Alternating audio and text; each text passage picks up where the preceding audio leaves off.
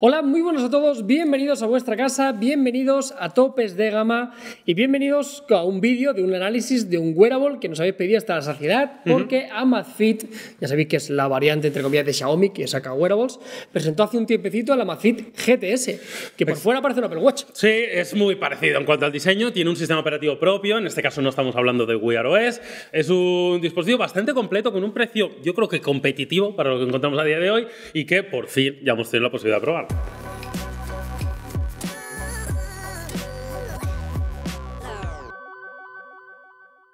Bueno, vamos allá y vamos a empezar hablando del apartado estético. La comparación con el Apple Watch es inevitable, parece un Apple Watch de baratillo, entre comillas. ¿no? La verdad que les ha quedado bastante bien resuelto, teniendo en cuenta que es un, es un reloj con ese formato. Eh, únicamente pesa 24 gramos, tiene unas dimensiones de 4,3 centímetros de, de, grosor por 36 y un espesor de 9,4 milímetros. Está muy bien, la verdad que siente muy bien a la muñeca. Tienes sensación de tener un dispositivo muy ligero que te olvidas que lo llevas, como os digo, con este diseño bastante parecido al Apple Watch da sensación de premium, de bien acabado, de buen dispositivo. La verdad que en líneas generales ya sabéis que la gente de Amazfit suele hacer unos wearables de bastante calidad, no es el primero que vemos, pero este especialmente tengo la percepción como de que está un poquito, ¿no? Visualmente sí. entra un poco más por los ojos. Es bastante sencillito, no, tiene, no te vas a volver muy loco. Una de las cosas que tenemos que tener en cuenta es que está eh, acabado en aluminio, que no está nada mal tampoco para lo que vamos a pagar. Y para mí lo que marca la diferencia es que tenemos seis colores disponibles. Hay una paleta increíble, tenemos un acabado en negro, en gris, en rojo, rosa, azul, dorado, es unisex. Aquí no hay una versión dedicada Claro. para chico o chica, lo que sí que es la combinación de colores. Ya te digo, hay un doradito, un rosa, eh, hay un, un azul también muy atractivo, no sé, hay mucho donde escoger.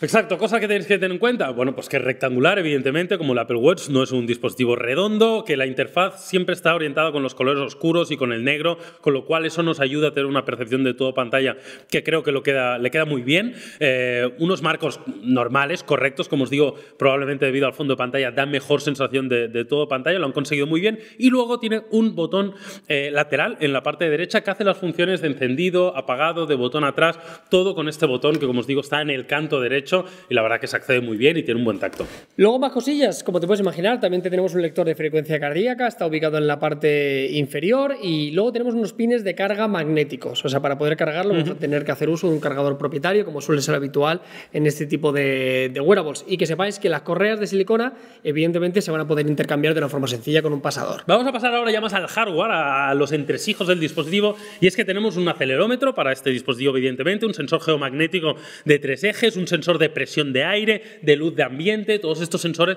que son para parametrizar algunos aspectos que, evidentemente, tienen importancia para un dispositivo que llevas todo el día al aire libre y que lo puedes utilizar también pues, para irte a la montaña, para hacer ejercicio, para muchas cosas. Sí, porque al final esto no deja de ser, entre comillas, una Mi Band muy, pero que muy vitaminada, ¿no? En este caso tenemos algunos sensores más eh, a tener en cuenta. Uno de los que sí que echamos de menos, que también quizá tienen relación un poco con el apartado económico y, y es algo que lo tenemos como muy interiorizado, es el sensor de, pro- de proximidad. Lo típico de casi cualquier wearable de poner la mano y automáticamente bloquearlo no es el caso. Vamos a tener que hacer, eh, vamos a tener que tocar el botón o directamente esperar para que se apague.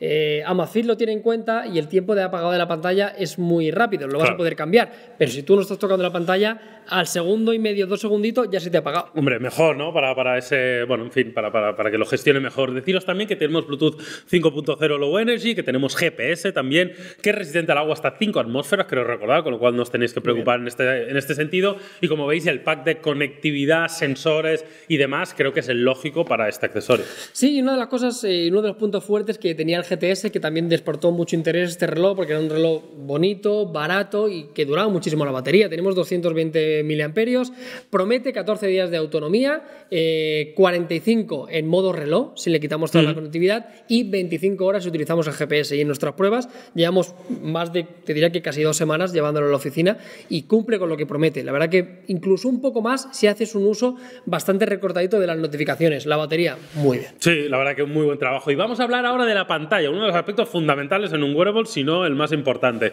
En este caso es de 1,65 pulgadas, un tamaño ya conocido. Es tecnología AMOLED, también también algo bastante habitual y que nos da muy buena experiencia en, en buenas condiciones de luz solar.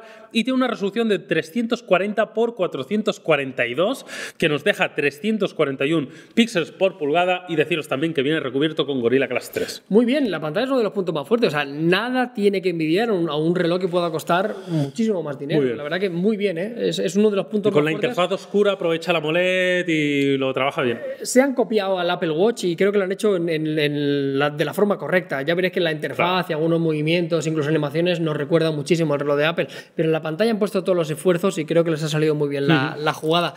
Y ahora vamos a pasar ya directamente al apartado del software y el uso, porque este tipo de relojes te tiene que quedar muy claro lo que vas a poder hacer y lo que no vas a poder hacer. Tenemos Amazfit OS. Y es que en la pantalla principal tenemos el watch face principal, obviamente, Claro. con distinta información que podemos personalizar. Pues el, estado de la batería, los pasos, la información climatológica y obviamente la hora. Sí, eh, con desplazamientos, evidentemente en la pantalla táctil vais a ir accediendo a, lo- a los diferentes parámetros, como la frecuencia cardíaca, los pasos que hemos realizado en el día, etcétera, etcétera. Y luego si desplazas pues hacia abajo tienes el panel de ajustes rápidos, algo bastante habitual, con accesos, pues yo que sé, al no molestar, a cambiar el brillo, la linterna, el bloqueo. En este sentido tiene un poco el, el mismo perfil que tienen casi todos los sistemas operativos que tienen una pantalla táctil. Lateral, bajamos los accesos rápidos, etcétera. El siguiente, si desplazamos hacia arriba, ya ahí sí que entramos directamente al cajón, entre comillas, de Claro. aplicaciones. Tenemos mensajes, tenemos deportes. Eh, luego hablamos del deporte un poquito más en detalle. Tenemos el estado, que nos dice eh, la información del sueño y de los pasos. Tenemos el tiempo, una alarma, el control de la música. Vamos a poder controlar directamente Spotify y el control del volumen y el paso de las canciones o la configuración. Y del deporte tenemos 12 modos, correr, caminar, ciclismo, etcétera, etcétera.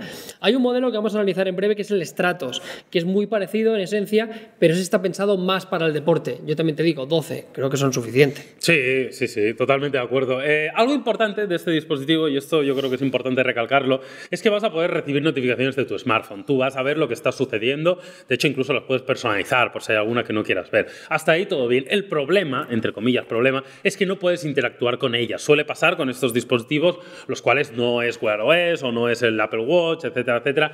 Claro, la interacción se resume a nada, pero bueno, también puedo entender que yo creo que la mayoría de usuarios lo que quieren es visualizar las notificaciones, pero que sepáis que no tendréis posibilidad, yo que sé, de responder un WhatsApp. Eso no lo puedes hacer. Sí, ni tampoco tendremos aplicaciones de terceros, pero parece que la tendencia va por ahí. Quiero decir, salvo Samsung y Apple, que son las dos Mundo únicas aparte, alternativas, porque con Wear OS hay muy poquita Muy poco, cosita. poco, ¿eh? muy poco. Muchos fabricantes están bajando del carro y los que se han bajado están sacando sus propios relojes que lo que hacen es notificarte un poquito más. Eh, analizaremos en breve, no sé cuándo, pero eh, Xiaomi va a sacar también el Mi Watch, Sí. que ese sí que vendrá con Wear OS. Veremos, será también, te aviso, sustancialmente más caro. Y con esto básicamente cerramos. Deciros que evidentemente tenéis una aplicación para Android y para iOS que se llama Amazfit, que la podéis descargar, podéis hacer la configuración del dispositivo, ver algunos parámetros, ajustes, etcétera. Bien diseñada, la verdad que una, buena app y evidentemente es el, compañero imprescindible de este dispositivo. Y hasta aquí, este ha sido el análisis que hemos hecho de este buen wearable de Amazfit. A mí la verdad que me ha gustado en líneas generales y sobre todo porque no es muy caro. Sí, ciento, alrededor de 125 euros. Vamos a dejarte un enlace aquí debajo en la descripción y al final casi todo este tipo de relojes hacen lo mismo. Quiero decir, la medición que hemos tenido, el conteo de los pasos ha sido bastante correcto. Yo lo he estado probando a veces de forma simultánea con el Apple Watch. No es tan preciso, pero la diferencia no era demasiado acusada como para que fuera un problema. La interfaz es bonita, la pantalla se ve bien. Una cosa que sí que voy a reprocharle, quizás de lo poco, que en algunos momentos sí que he encontrado como algo de lag. O sea, las transiciones no son todo lo fluidas que me hubieran gustado. Sí, no sé si es algo más del rendimiento del propio hardware que tiene el dispositivo o que igual el software pues, no está del todo pulido. Bueno, es algo que vais a encontrar en el día pero en líneas generales la verdad que me parece una muy buena opción, muy buena relación calidad-precio y sobre todo muy buena relación funcionalidad precio, ya que tiene todos los sensores que tiene que tener, tiene una buena pantalla, tiene una buena autonomía, tiene bastantes aplicaciones propias suyas, pero yo creo que para el 90% de cosas que haces ya te vale.